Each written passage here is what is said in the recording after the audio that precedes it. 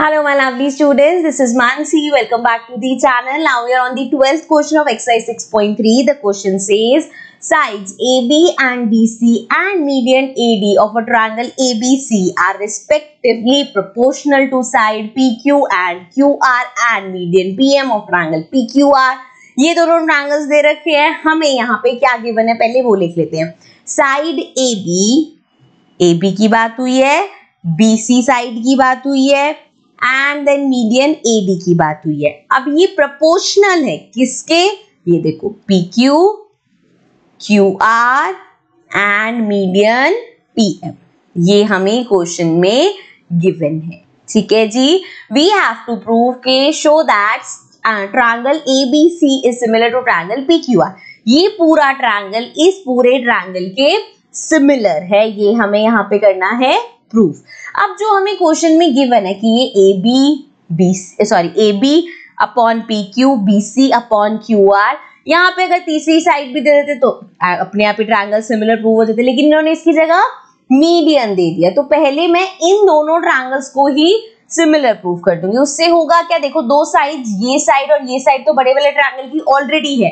एक एंगल अगर और मिल जाएगा तो ट्रायंगल्स को सिमिलर प्रूव करना इजी हो जाएगा। अब अगर मैं यहाँ दो छोटे ट्रायंगल्स की बात करूँ, इनको सिमिलर प्रूव करने की बात करूँ तो यहाँ पे भी A B upon P Q तो मेरे पास है, लेकिन B D upon Q M नहीं है। देखो ए बी भी है पी क्यू भी है ए डी भी है पी एम भी है। बस ये बी डी जो है, ये नहीं है और क्यू एम नहीं है। तो इसको भी लिख सकते हैं कैसे? यहाँ पे तो एज इट इज़ चलेगा कि A B upon P Q ये तो हमें चाहिए ये ठीक है? इस ट्रायंगल में भी इक्वल है बी सी को मैं अगर लिख दूँ हाफ़ ऑफ़ बी सी इसी तरह से क्यू आर को अगर मैं लिख दूँ हाफ़ ऑफ़ क्यू आर दोनों का ही हाफ़ किया कर सकते हैं। इक्वल है, ये तो गिवन है ए डी अपॉन पीएम की समझ में आ रहा है क्या कर रही हूँ मैं? फ़िलहाल मैं ये जो दो छोटे वाले ट्रायंगल्स है, इसको सिमिलर प्रूव कर रही हूँ। रीजन क्यों प्रूव कर रही हूँ? ताकि मुझे दो एंगल्स मिल जाए। ठीक है जी? अब यहाँ से ये मेरे पास ये अपॉन ये दिस अपॉन दिस ऑलरेडी है। मुझे बी डी और क्यू एम चाहिए। तो इसको मैंने कर दिया half of B C half of Q M क्योंकि हमें पता है यहाँ पे half of B C B D हो क्योंकि ये मीडियन है। सो so, यहाँ पे मैं लिख सकती हूँ A B upon P Q equal half of B C मतलब बी डी क्योंकि वो मीडियन है मिड पॉइंट है मतलब दो इक्वल पार्ट्स में डिवाइड किया है।